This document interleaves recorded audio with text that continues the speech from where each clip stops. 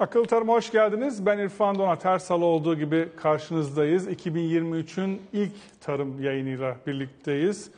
Bugün biraz isterseniz buğday ve un tarafına bakalım diyoruz. Hem dünyada buğday üretimi, ticareti, Türkiye'deki yansımaları ve tabii Türkiye biliyorsunuz buğday üretiminde de önemli bir ülke. Bir taraftan da ithalat ve ihracat dengesiyle birlikte un tarafında küresel piyasalarda önemli bir oyuncu. Dolayısıyla hem 2022'nin şöyle bir değerlendirmesini yapacağız kısaca. 2023'e dair beklentileri, öngörüleri konuşacağız. Riskleri, fırsatları ele almaya çalışacağız. Ve tabii ki sektörün varsa öne çıkan sorunu ve çözümlerine de yer vereceğiz. Bugün Exim Holding Gıda Grubu Başkanı Ahmet Demir bizimle birlikte. Hoş geldiniz yayınımıza. Hoş bulduk, hoş bulduk. Şimdi e, hareketli bir yılı geride bıraktık. Evet. Tüm sektörler için ama tarım sektörü gıda için bayağı bir hareketliydi. 7'den 77'ye herkesin e, yani kırsaldaki üreticiden tutun da son nihayet tüketiciye kadar enflasyonla beraber herkesin gündemindeydi. Gerçekten. Tabi burada da buğday ham maddesinden dolayı un, unlu mamuller, e, ekmek, makarna gibi aklınıza gelecek tüm çeşitlerde e, biz e, yıl boyu e, ürünlerin hem üretimi hem de fiyatlarını çok konuştuk. Şimdi Ekim ayı itibariyle de aslında ekilişlerin yapıldığı bir dönemdi. Buğday, hububat tarafı için söylüyorum. Ee, ve e, mevsim normallerinin altında yağışlar gerçekleşti. Sahadan gelen bilgiler ne yönde? Şimdi buğday üretiminde bir artış olduğunu, ekiliş alanlarında bir artış olduğunu biliyoruz. Çünkü üreticilerin bir kısmı farklı ürünlerden tercihini buğday, arpa gibi ürünlere kaydırdı. Ama yağışların zamanında ve yeterli seviyede olmaması ekilişleri nasıl etkiledi? Sizin sağdan gelen bilgilerinizi alalım. Evet, teşekkür ediyorum. Öncelikle e, şunu belirtmek isterim e, İrfan Bey. E, biz e, tarım faaliyetlerimizi şöyle değerlendiririz. Üstü açık bir fabrika gibi. Yani bir üretim alanınız olduğunu düşünün ve bunun e, üstü açık. Yani bir türlü e, bir sürü belirsizlikler, riskler, e, iklim şartları, doğal afetler ve hastalıklar bunların hepsi sizin riskinizdir artık. Kuraklık noktasına gelecek olursak da e, müsaade ederseniz e, küresel e, iklim değişikliklerinden e, birkaç e, bilgi vermek isterim. E, e, Kuzey Yarımküre'de e, Amerika başta olmak üzere çok farklı, çok değişken, çok dengesiz bir e, yılı yaşıyoruz hep beraber. Orası gerçekten çok ciddi, soğuk bir e, kar fırtınalarıyla boğuşurken e, tabii ki e, tarım alanları bundan ciddi etkileniyor. Avrupa'da ise e, yağışlar bir 10-15 gün e, gecikmiş durumda. E, bu da onların için %10, %15'lik bir rakam. Bize geldiğiniz zaman çok daha farklı rakamlarla karşı karşıya geliyoruz. Elimizdeki veriler ve piyasadan aldığımız bilgiler doğrultusunda son 3 ayda %30'a yakın bir normallerin altında bir yağış aldı bölgemiz. Trakya'da da, İç Anadolu'da da, e, Güneydoğu Anadolu'da bütün e, tarıma elverişli e, arazilerimizde maalesef böyle bir durumla karşı karşıyayız. Tabii ki bu kuraklık bizi nasıl etkileyecek? Acaba ürünümüz, rekoltemiz düşecek mi? Kalite bozulacak mı? Bu tip sorular insanın aklına geliyor normal olarak. Fakat bunları söylemek için biraz erken olduğunu düşünüyorum kanaatimce. Evet bir risk var mıdır? Risk vardır.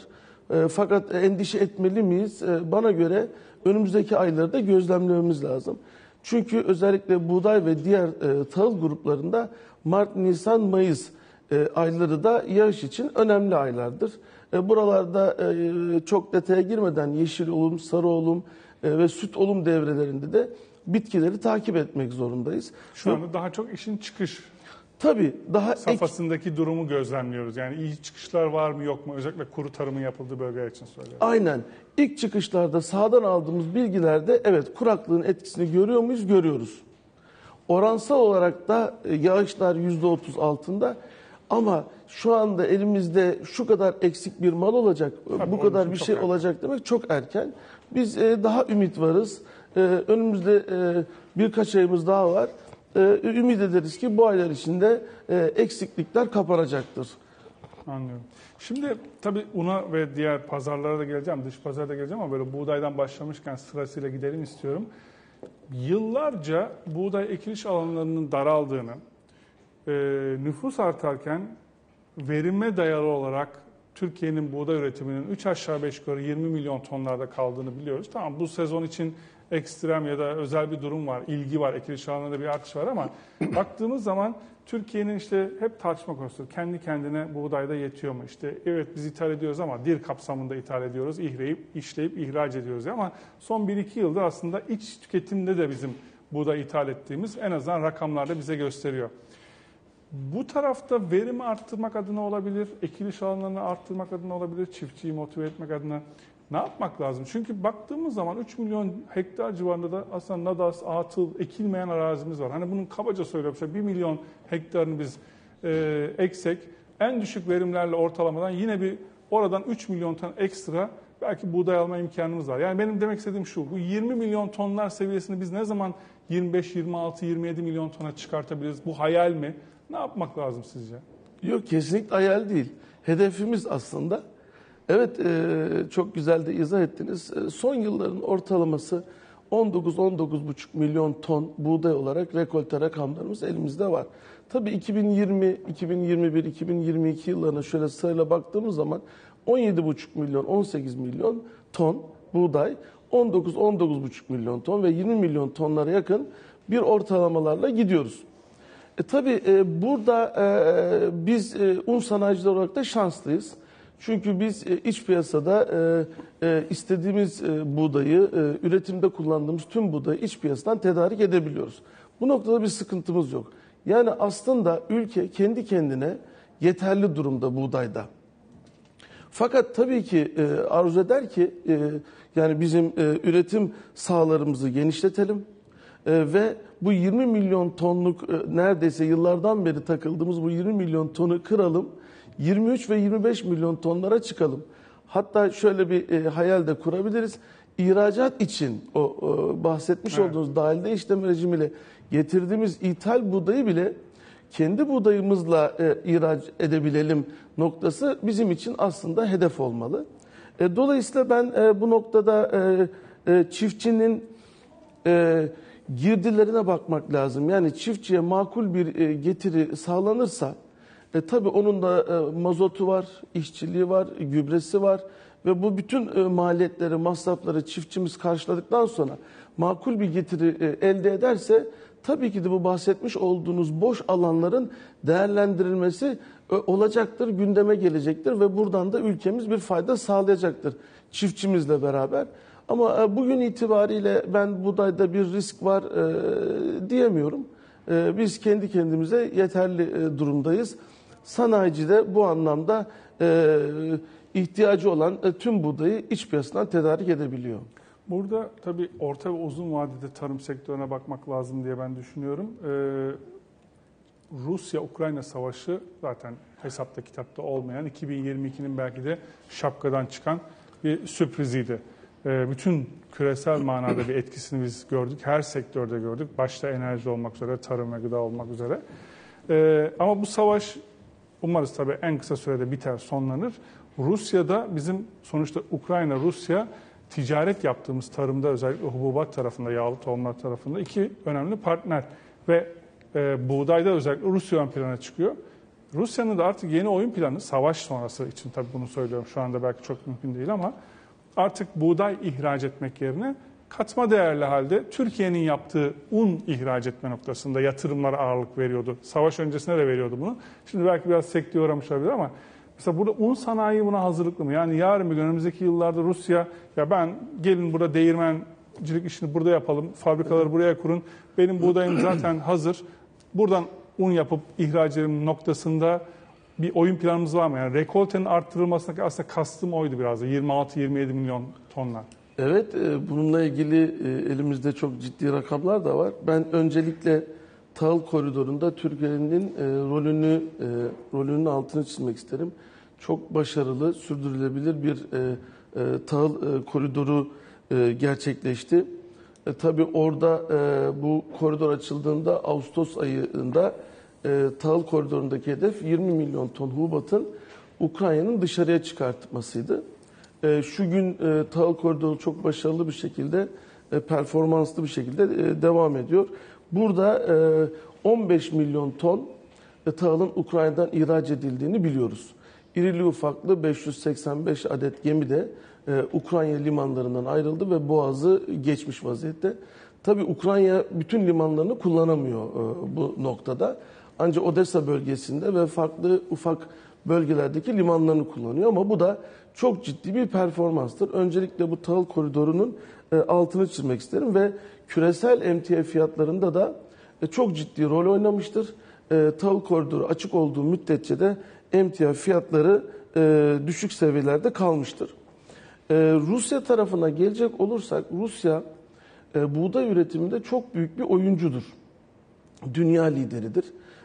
Yıllık ortalama olarak 85 milyon ton, 90 milyon ton e, buğday üretimiyle e, bir e, her sene yeni bir rekora koşar ve aynı zamanda da e, dünyadaki e, buğday ihracatında bir numaradır.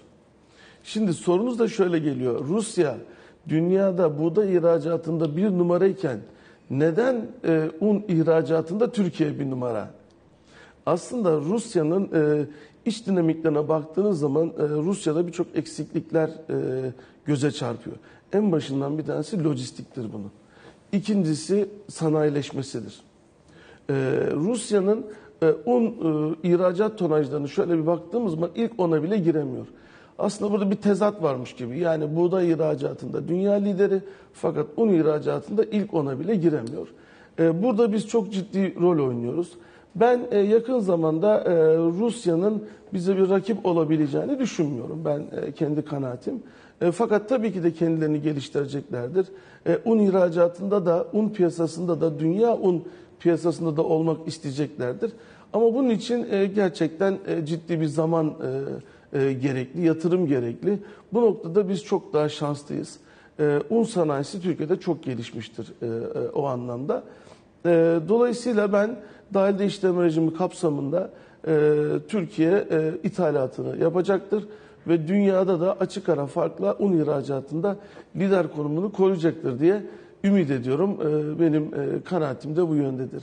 Un ihracatına baktığımız zaman 2022 yılı şöyle bir tabii tam sonuçlar sonuç yayınlanmadı. E, Daha yeni bitirdik yılı. Veriler arkadan geliyor ama hem e, 2022'deki hedef miktar bazına, değer bazına ne? 2023 için de tabii merak ediyoruz. Şimdi e, Türkiye un ihracatında çok dinamiktir. E, köklü ve e, gerçekten güçlü bir yapısı vardır. E, geçen sene e, 2021 e, rakamına baktığımız zaman e, un ihracatında 3 milyon ton bir un ihracatı yaptığımızı, bunun parasal karşılığında 1.1 milyar dolar olduğunu görüyoruz. 2022 hedeflerimiz de 3 milyarı geçmekti. Fakat veriler tam olarak çıkmadığı için ben hedeflerimizi yakaladığımızı ve üstüne çıktığımızı düşünüyorum. Yine 3 milyon tonun üzerinde bir e, un ihracatımız, 1,5 milyar dolar karşılığında da bir ihracat e, geliri e, elde ettiğimizi düşünüyorum. 7. ay verileriyle konuşacak olursak 7. ayda 1.4-1,5 milyon e, tonu yakaladık. 750 e, milyon doları ihracat getirisinde getirdik ülkemize. Bu noktada gerçekten çok gururluyuz. E, ve şunu da söylemek isterim e, müsaadenizle. Un ihracatında Türkiye 2013-2014 yılından bu yana 9 yıldan beri dünya liderliğini elinden bırakmıyor. Ve ilk ona baktığımız zaman hatta ilk 5'e baktığımız zaman bile rakiplerinin toplamı kadar ihracatını gerçekleştiriyor. E, dolayısıyla bu dinamik yapının da böyle kalması bizim için, ülkemiz için ve sanayi için e, çok önemlidir. E, ve bunu yapacak da gücümüz ve teknolojimizde olduğunu düşünüyorum. 2023 hedefi? 2023 sektörü. hedefi bana göre 3,5 milyon ton rahat olmalıdır. Ve biz bunu yakalarız 3,5 milyon tonu. Miktar bazında. Miktar bazında ve 2 milyar dolar ciroyu da yapacağımızı düşünüyorum. Çünkü hani bunu da şuna dayandırayım. Karadeniz bölgesindeki e, Ukrayna ve Rusya savaşından e, bu yana e, gerçekten e, e, un e, pazarları e, Türkiye'nin daha rahat ulaşabileceği bir noktaya haline geldi. Yani Ukrayna'daki hmm. savaş, Rusya'daki savaş Türkiye'den un ihracatının e, daha cazibesini cazip daha cazip kıldı. Dolayısıyla bizim hem teknoloji, hem kapasite, hem de lojistik avantajlarımızı üst üste koyarsak e, bence e, 3,5 milyon e, hedefi hayal değildir ve bunu gerçekleştireceğimizi düşünüyorum. Buradan şu sonuç çıkıyor mu? Daha önce ihracat yapmadığımız ya da düşük kalan ülkelere daha fazla ihracat yaptık ya da pazar çeşitliliğimiz arttı gibi bir şey çıkıyor mu? Yoksa sadece aynı pazar ama miktar olarak mı daha fazla ihracat yapmıyoruz? Yok tamam, tamamıyla haklısınız. Ee, 130 ülkeye ihracat yapıyoruz. Ve bu sene çok enteresan konjonktür değişikliğinden dolayı hani e, müsaade ederseniz e, örnek de verebilirim. Sri Lanka'dır mesela. Yani Sri Lanka aslında Hindistan'ın e, yanında ve Hindistan'dan buğday alan, Hindistan'dan un ithalatı yapan bir ülkedir. Ama e, Hindistan'ın buğday e, rekoltesinde sıkıntılar oluştuğu için Sri Lanka bir anda unsuz kalmıştır. Ve Türkiye'deki uncular da Sri Lanka'nın yani acil e, olarak e, Tedarikçisi tedarikçisi olmuştur. Ve e, son 2-3 ayda yani e, 50 bin tonların üzerinde ki bunlar ciddi rakamlardır. Sri Lanka'ya un ihracatımız olmuştur. Bunun gibi Sri Lanka olabilir, Venezuela olabilir, Afrika'da herhangi bir ülke olabilir. Bu 130 ülkede Türk uncuları çok aktif olarak çalışmaktadır. Konjektör gereği de un ihracatı malumunuz bir kriz anında e, yani bir e, afet durumunda, bir savaş durumunda çok ciddi devreye girer. Çünkü sonuç olarak e, yani son nihayet tüketici insandır ve e, bunu da e, tüketmek zorundadır. Dolayısıyla Türkiye e, un sanayiciliği olarak biz gururla dünyanın her tarafına gidiyoruz. 130 ülkede ihracatımızı gerçekleştiriyoruz. Şimdi işin ham maddesi buğday dedik. Buğday da siz de biraz önce değindiniz. Daha önce buğday üreticisi e, çiftçilerimizi de burada konuk ettik. Maliyetler hakikaten son bir yıla baktığımızda hatta son iki yıla baktığımızda çok ciddi şekilde arttı. Gübresi, mazotu, ilacı vesaire, işçilik, enerji. Şimdi işin ham maddesinde böyle. E, siz de işin işlenmiş tarafta gıda sanayinde, un sanayinde sonuçta başka maliyetlerle yüzleşiyorsunuz. İşte enerjisi, doğalgazından tutun da işçilik maliyetine, lojistiğe kadar. Buradaki artışlar rekabetçi yapıda sizi zorladı mı son bir, bir buçuk ya da iki yılda? Zorluyor mu? Şöyle söyleyebilirim. E, tabii ki maliyet artışları her sektörde olduğu gibi bizde de var. Enerjide de maliyet artışımız var. işçilikte de maliyet artışımız var. Fakat bizim yani e, e, en büyük e, girdimiz buğdaydır. E, buğdayda ise e, Toprak Mahsulleri Ofisi gerçekten e, Türkiye'de e, regülasyon görevini yapan ve buğday fiyatlarını zamanı geldiğinde çiftçiyi mağdur etmemek adına e, yükselten, zamanı geldiğinde de sanayicinin girdilerinin yükselmemesi, dolayısıyla una ve ekmeğe herhangi bir e, e, zam gelmemesi için TMO bu regülasyon görevini çok iyi bir şekilde e, götürmektedir. E, son iki yılda da çok e, aktif bir şekilde e, gerçekten e, çiftçinin de yanında olmuştur, sanayicinin de yanında olmuştur. E, TMO'nun e, bu e, regülasyon e, e, sürecini devam ettirmesi noktasında biz e, una e, zam yapmayı düşünmüyoruz. Ekmekte de herhangi bir zam olacağını düşünmüyoruz.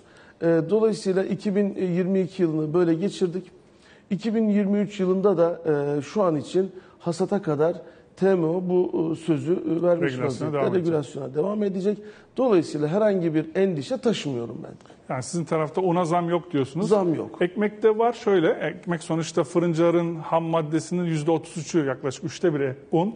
Geri kalan maliyetlerdeki artışlar vesaire e, kirasından e, birçok faktör şu anda ekmek artışları devam ediyor. Her ne kadar yani fırıncılar e, odası başkanı da zam yok diyor ama ben kendi mahallemde her dönem hissediyorum, herkes hissediyor. Orada bir enflasyon var. E, kaç un fabrikası var Türkiye'de? Yaklaşık. Çok dinamik bir yapı. Ee, 500'den fazla e, oyuncu var. 500'den fazla sanayicimiz var. Ee, Bunlar aktif e, çalışıyorlar. Ee, Yaklaşık e, yıllık e, 10 milyon ton kadar da iç piyasanın ihracatla beraber e, 13 milyon ton bir iç piyasada bir Üretim. üretim var. Bu 500 fabrika zaman zaman kapasitelerini %80'e çıkartırlar. Zaman zaman %70, %60 olarak tutarlar. E, iklimsel e, konjektör değişiklikleri, Talep. turizm talepler, turizm sezonunun açılması gibi durumlarda fabrikalarımız faal olarak çalışır. Türkiye'nin dört bir tarafında e, un sanayicisi e, gece gündüz faaliyetlerine devam ediyor. Sektörün Şimdi zaman zaman biz e, yatırımlar tarafında e, aksamaları konuşuyoruz farklı sektörler için ya da işte finansmana erişim noktasında sıkıntıların olduğunu biliyoruz. E, un sanayi, un sektörü olarak şöyle bir genelde baktığımızda var mı sektörün öne çıkan sorunları ya da şu şu şu adımlar atılsa, şu hamleler yapılsa önümüz biraz daha açılır işte ya da yatırım tarafı olsun, ihracat tarafı olsun daha aktif halde e, faaliyet gösterebiliriz diyebileceğiniz noktalar var mı? Tabii e, biz de un sanayisi olarak e, payımıza düşeni alıyoruz. Yani Türkiye'nin e, konjonktürü gereği e, finansmana ulaşım noktasında, e, kalifiyeli eleman bulma noktasında. E, fakat bizim e, çok dinamik bir pazarımız olduğu için e, biz e, ürettiğimiz e, miktarları e, e, çok rahat bir şekilde piyasada her türlü kanalda e, e, satabiliyoruz. Dolayısıyla e, bizim e, finansmana ulaşma noktasında e, bir miktar e, konjonktör yeri biz de zorluklar yaşadık. Ama şu gün itibariyle çok fazla bir e, sorun olduğunu düşünmüyorum. E, bundan sonra da e, inşallah e, bu, bu tip sorunları aşarak devam ederiz. Sektörün şimdi tabii un üretimi önceliği ama bakıyorum un sanayinde de değirmencilik tarafında da e, yeni oyun planları, yeni yatırımlar da farklı e, oyunculardan geliyor. Özellikle katma değerli ürünler, unlu mamuller tarafında. Siz için o tarafını nasıl görüyorsunuz? Yani bunun içine dondurulmuşlar da e, bir de un öyle bir şey ki yani biz hani ekmeklik, makarnalık, buğday diye sınıflandırıyoruz şeyi. Evet. Hani hep bu böyle gündem. Halbuki baktığımızda lavaşlık, böreklik, baklavalık, efendim pidelik, pizzalık hepsinin unu farklı. E, oyun alanı da geniş.